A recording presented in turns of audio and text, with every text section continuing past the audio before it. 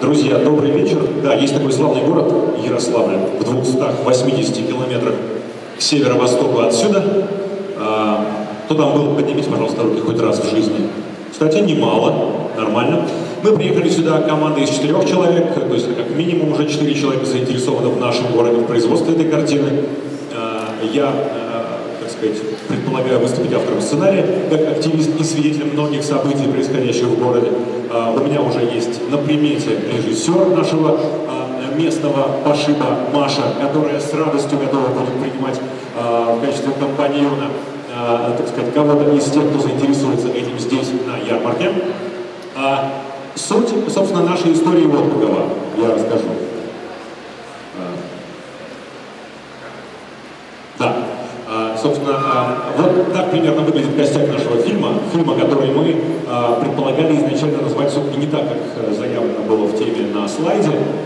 Мы хотим, чтобы нашла свое отражение в нашей картине такая, такое явление, как Ярославская весна. Собственно, в хронологии э, это 30 последних лет истории нашего э, города, э, которые отражены вот на этой линейке временной. Но, собственно, сама Ярославская весна – это 4 года с 11 по 15 год гражданской активности, которая в нашем городе зашкаливала. Началось все в конце 80-х. Предполагается, что мы сможем найти свидетелей тех событий и участников, конечно многие из них живы, им есть что вспомнить. А, мы ходили на митинги, а, так еще до того, как это стало мейнстримом в столице нашей Родины. Соответственно, а, Ярославский народный фронт – это первое место после СССР, где такая организация была создана, и, как видите, пользовалась огромным массовым массовой поддержкой населения в самом городе. Пятитысячные собрания граждан главном стадионе города в конце 80-х, фактически народные вещи для обсуждения а, общегородских проблем, согласитесь, это мощно.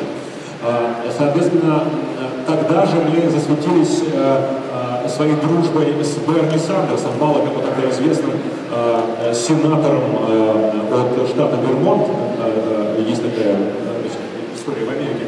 Берни Сандерс был кандидатом в президенты Демократической партии, вы знаете, США.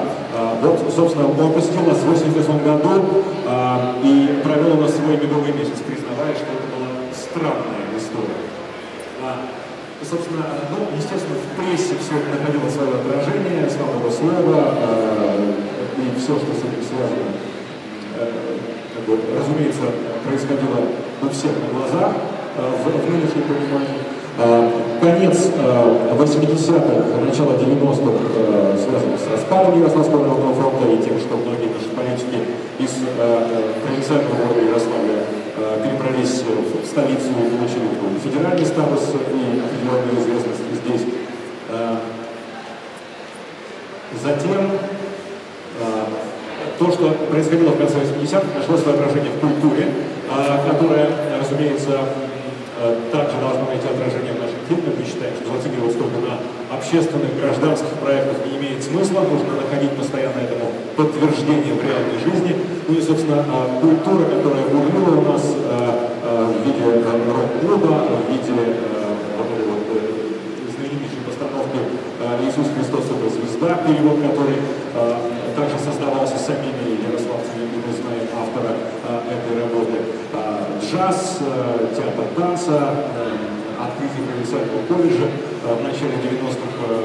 Это было совершенно невообразимо для нашей системы образования после традиционных школ и для старшеклассников разного рода фестивалей. Все это сменилось, мы идем дальше по хронологии застоем 2000-х годов, ну и, собственно, тем, что замечательные люди стали управлять городом регионом, но ничего толкового для развития они не принесли, ну, традиционная стабильность, которой а, сменяется любой расцвет. А, ну и, собственно, дальше мы перешли к тому, что а, все эти события выплеснулись в начале 2000-х. А. Спасибо, так лучше слышно. О, вау. Все это э, выплеснулось на улице в 2011 году, когда случилась жуткая катастрофа с хоккейной командой «Локомотив», о которой вы, конечно, знаете, упал самолет под Ярославлем. Настроение людей после этого резко изменилось э, в не лучшую для власти сторону. А, э, И также все это исторически совпало с моментами выборов здесь, в, в, в России вообще, да, выборов в Государственную Думу, которые народ не признал, в Москве люди вышли на Болотную, у нас они вышли на основную городскую площадь, площадь юности, и это тоже были тысячи человек. Митинги продолжались как раз вот примерно да, всю зиму 2012 года, и все это в итоге а, а, пришло к периоду выборов мэра, о котором вы тоже знаете, 70% э, граждан а, отдали свои голоса за кандидата от оппозиции, Евгений Урлашов, так его зовут, а, и правил он нами примерно полтора года, после этого случился его арест. А, расцвет в это время э, разного рода общественных настроений также имел место. Ярославские монстрации, э, самые ближайшие монстрации к Москве э, проводятся именно в Ярославле, недалеко, так что если будет возможность, приезжайте, становитесь героями уже 1 мая, ближайшая из них состоится. Да, ну, собственно, арест Урмашова по логике событий, о котором я говорил, самый большой митинг в истории города, более 5000 человек, 1% населения города, это как если бы в Москве вышло там, 150, может быть 200 тысяч человек на улице. А, появление Бориса Немцова в нашей области, где он избирался областным депутатом, я лично участвовал в его кампании, и это было, конечно, для города тоже очень значимое событие. Затем убийство Немцова, примерно также полтора года его пребывания у нас э, вот э, также запомнились определенными э, событиями.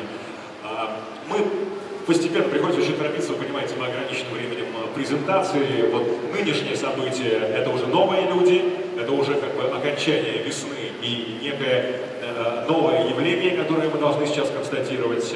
Соответственно, мы хотим резюмировать наш фильм, и вот к этому я подвожу, что Ярославль в каком-то смысле уникальный город, э, поскольку он э, вот в себе так э, интенсивно все сосредоточил да, из общественных явлений нашей страны последних 30 лет.